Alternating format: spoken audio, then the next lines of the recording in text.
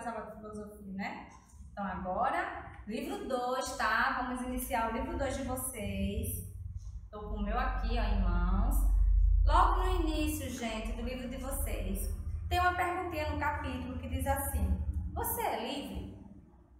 Esta é a pergunta de início. Lembra que nos capítulos anteriores do livro 1 nós falamos sobre sentimentos, falamos sobre dúvidas, sobre arte de pensar e executar, né? Aguçar a nossa fé pensando e agindo. Foi isso? Agora, capítulo 2, ele traz esse outro lado da filosofia, né? Ser livre. Então já começa com esse questionamento. Ser livre, né? É a perguntinha, ó, do livro, né? O que é liberdade? O que é investigar a liberdade? Gente, se você for olhar de uma forma geral, Cada ser humano enxerga, observa e tem uma definição de liberdade de uma forma individual. Né? Por exemplo, eu sou livre porque eu creio num Deus poderoso que dá essa liberdade para nós. Outras pessoas acham que ser livre é, ah, eu posso ir para qualquer lugar, minha mãe não briga, não liga, eu saio para onde eu quiser. Então, existem liberdades distintas na vida do ser humano e que ele mesmo é capaz de distinguir. Por esta razão, o livro de vocês traz o questionamento.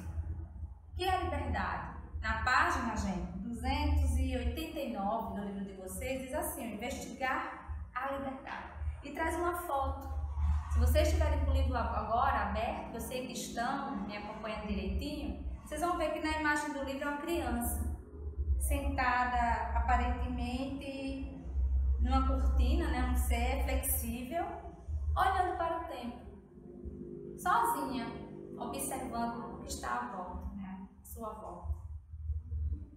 Por esta razão, é importante a gente avaliar a nossa própria vida, se nós somos livres ou não. Então vamos lá? Eu trouxe algumas definições, tá? Sobre o que é liberdade para a filosofia, tá? Isso aí de uma forma geral, certo? Mas se você tem conceitos a respeito, ótimo, porque vocês irão fazer atividades de nível pessoal e aí vocês irão colocar os seus questionamentos. Olha só. Na filosofia, liberdade é, segundo a filosofia, liberdade é um conjunto de direitos de cada indivíduo, seja ele considerado isoladamente ou em grupo, perante o governo do país em que reside. É o poder de qualquer cidadão tem de exercer a sua vontade dentro dos limites da lei então, muita gente confunde liberdade com poder fazer tudo. E não é bem assim, né, gente? Nós somos livres numa sociedade democrática. Sendo que hoje em dia esse conceito de liberdade, às vezes, em determinados lugares, não são dessa forma, tá? As pessoas têm restrições e elas não podem fazer tudo, até porque existem leis. Na aula de história, lembra sobre república? Existem leis que possam, é, são criadas gente, justamente para pôr limites. Tá? Limites a uma sociedade. Imagina, a sociedade é enorme, o Brasil é enorme. Não tivesse leis aqui, gente, já imaginou como é que seria? Com as leis já acontecem coisas é, que não são permitidas. Imagina se não tivesse. Então, desde a época, gente, antes de Cristo, tá? Já existiam normas e regras a serem seguidas, não é mesmo? Então, a liberdade na filosofia é isto, é aquele direito de você ir e vir, é aquela liberdade que você tem para se expressar. E nem sempre aqui no, no nosso Brasil foi assim, né? Alguns grupos étnicos não tinham liberdade, gente, não tinham liberdade de expressão, não tinham é, liberdade nem ao menos de se considerar cidadãos. É, vocês estão vendo isso comigo na aula de história sobre cidadania, nós vimos, aliás. E não tinham esse direito, né? Hoje, graças a Deus, a sociedade moderna como a nossa, é, estão tendo, assim, cada dia que passa, vem, surge um novo, um novo direito, uma nova liberdade para os cidadãos. Então, aqui, ó, Spinoza, tá? É um filósofo, eu coloquei a frase dele aqui, ó. A ideia ilusória da vontade livre deriva de percepções inadequadas e confusas. A liberdade entendida corretamente não é estar livre, ó, olha só o que eu falei no início, não é estar livre da necessidade, mas sim a consciência da necessidade. Por isso que eu digo, a liberdade, o conceito dela, se você perguntar a cada pessoa, cada um vai dizer de uma forma distinta. Porque é a forma como se está enxergando este tipo de liberdade. Vocês entenderam? Tem pessoas que, que têm tudo na vida, mas se consideram presas. Aí você vai investigar detalhadamente, há uma razão, né? Até psicológica para responder este questionamento. Então aqui Ó, eu peguei aqui também o conceito, isso tudo dentro da filosofia, tá certo? Ó, mas o que é a verdadeira liberdade? É ser perdoado do passado, ser livre do sentimento de culpa, ter o poder para escolher e fazer coisas certas, ter autodomínio, domínio próprio, ter a capacidade de perdoar e amar os outros Tá vendo que isso também faz parte do conceito de liberdade? Não ser escravizado por nada, ter paz em Deus e com Deus. Então, se vocês prestarem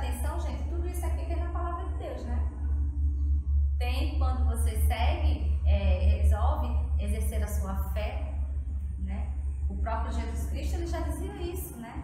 Para nós, já diz, aliás, em sua palavra, né? Então, a filosofia aqui, ela tem uma ponte com a fé, com você perdoar, perdoar e ser perdoado, você ser resiliente, ou seja, você se colocar. É muito difícil, eu sei, gente, se colocar no lugar do outro. Mas não é impossível. Não é verdade? Não é impossível. Então, ser livre é você fazer algo por alguém e não se sentir preso. É você fazer algo. Eu estou aqui ministrando aula para vocês. Eu sou livre, gente. Tem as normas por trás de mim, as regras, porque tem que existir. Tem um líder que está me monitorando. É a vida é assim, mas eu sou livre.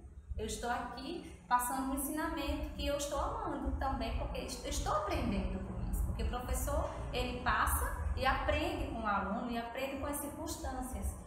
Então, memorize esta lista, tá certo? E, e faça uma ponte com a fé, com a crença, né? Com o que Jesus falou. É exatamente. Aqui está escrito em outras palavras, não é mesmo? Mas é, a liberdade é isso, essa liberdade que tanto Cristo pregou, né? Seja, sejamos livres, não é verdade? Então, ó, tudo que diz respeito à liberdade desperta as mais diferentes opiniões opiniões diferentes, diferentes geram diálogo. E o diálogo é muito importante para a filosofia. Lembra da dúvida? Eu instiguei vocês sobre dúvidas, né? Justamente isso, gente. Se eu penso, olha só o filósofo que eu citei no capítulo anterior. Se eu penso, eu existo, né? Se eu existo, eu sou humano. Então, isso aí, gente, olha, é um atrás do outro. Então, se você é livre para falar, para expressar sua opinião, vai gerar um diálogo, gente. E um diálogo saudável. Porque que sempre nas minhas aulas, eu sempre estou querendo que vocês falem. Eu sempre quero que vocês expressem o que vocês estão entendendo naquele momento. Por sinal, agora, Gostaria muito que você deixasse nos comentários aí sobre o que é liberdade para você. Coloquem lá, interajam com a aula, tá? Liberdade é você poder ter paz, não é verdade? Então, por essa razão, ó, aqui diz assim, ó, mais diferentes opiniões. Para mim, eu creio, eu vejo de um jeito, para o meu vizinho ou para vocês, meus alunos, de outro não é verdade? Então aqui ó, eu coloquei uma perguntinha. Quais palavras vocês costumam associar à liberdade?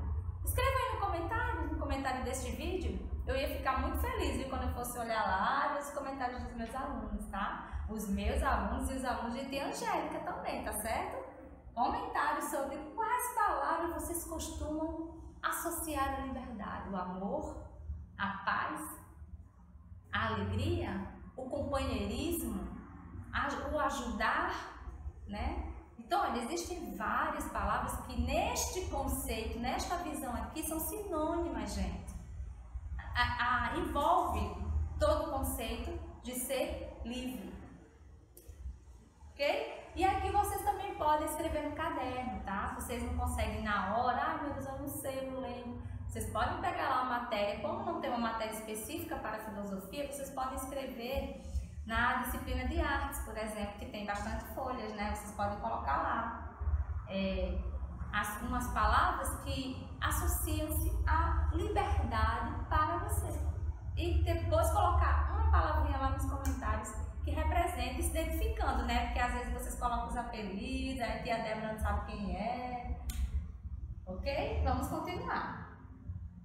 Ó, aqui é um, um texto, um poemazinho, que eu retirei do livro de vocês, da página 291. Se vocês estiverem agora com o livro em mãos, vocês podem abrir na página 291, que tem este poema que eu transcrevi aqui para o slide, tá bom? E eu vou, irei é, recitá-lo agora. Ó, troca um passarinho na gaiola por um gavião em pleno ar. Troca um passarinho na gaiola por uma gaivota sobre o mar. Troca um passarinho na gaiola por uma andorinha em pleno voo.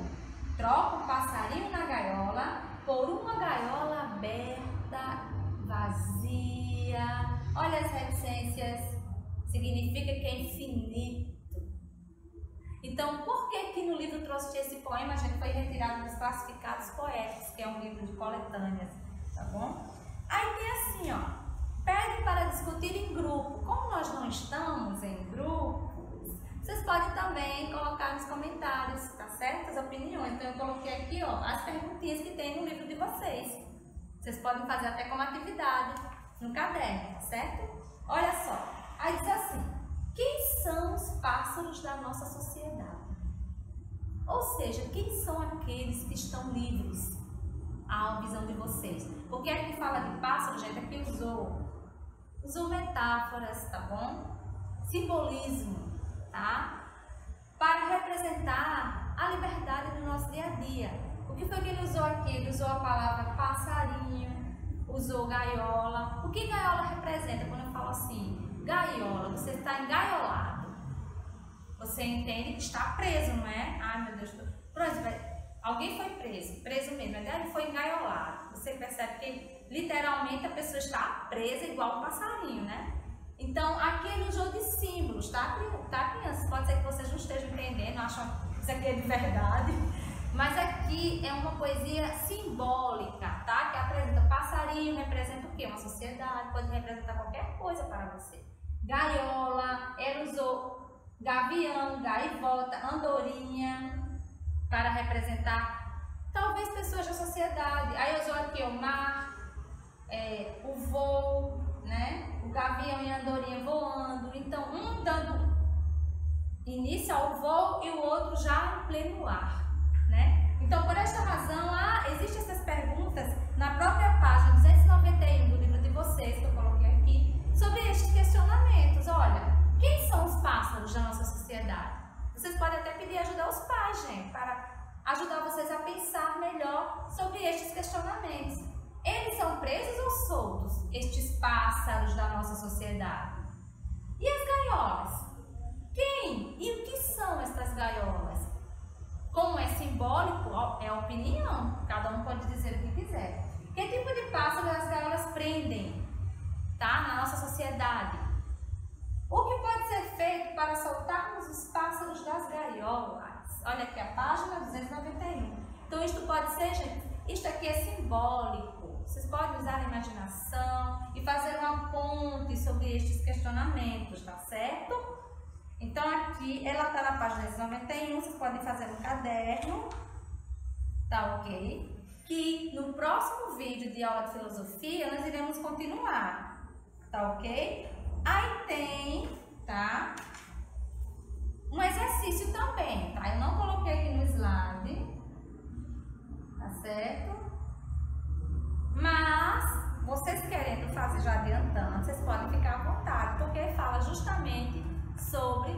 Liberdade. Então, vamos recapitular o que foi visto hoje, né? O livro começa sobre liberdade e ela expande, né? dizendo que a liberdade é questão de opinião. Então, com base nisso, eu termino minha aula de hoje, deixando para vocês esta enquete, né? Aqui, ó, vou voltando aqui. Ó, quais palavras vocês costumam associar à liberdade? Anotem nos comentários que depois eu vou dar uma olhadinha, tá bom? Então, assim eu termino a minha aula e tchau!